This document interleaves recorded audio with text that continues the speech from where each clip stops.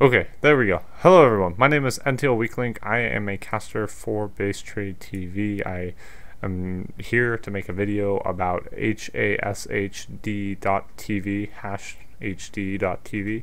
That's how I'm going to pronounce it for now until I get told otherwise. This video is for setting up your live stream. Uh, super simple, super basic it's not that difficult, but it seems difficult at first. Now, I'm using Open Broadcaster software. Uh, that's something you might have to keep in mind. I don't know if it changes for XSplit, but let me show you how you set it up with Open Broadcaster software. So, going over to here. Hello, everyone. Do again. Okay, so we are on my channel under my settings. You can find settings under here. Go to live stream. Boom we are here. You see that I'm live at the moment. What you want to do is you want to click details right there. Details is going to open up this page. It's going to show you the, the links to the servers and it's also going to show you your stream key. That stream key is super important. That's yours. Make sure it stays hidden. Um, but as we, wrong one.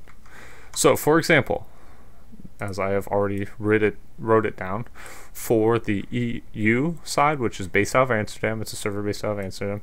This is your stream key, or not your stream key, it's your stream, it's your server link, and this is the NA server link, except for the fact that you don't need this half. So, for example, when you open up OBS, which we can do right now, Open up OBS, look at settings. Oh yeah, it won't let me do it. Okay, won't let me do it when I'm streaming. But when you open up settings, you will go under encoding. Under there, or maybe it's broadcast settings, what you do is when you find that, it'll say server. Under server, for me, since I am uh, based out of North America, I'm to come here, control this, paste in settings and server, and they'll be like stream key.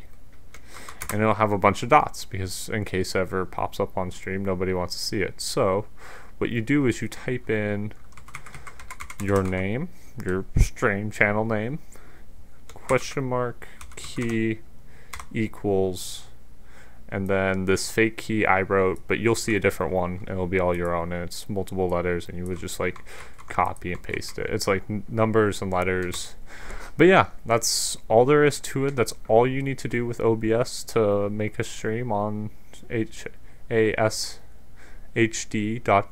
I'm still gonna have to get used to it. As I said, it, this is brand new streaming service. I'm just doing this because I know I was confused and a bunch of other people I saw were confused. And so all the broadcasters right now are being asked, how do I do this? Where do I do this?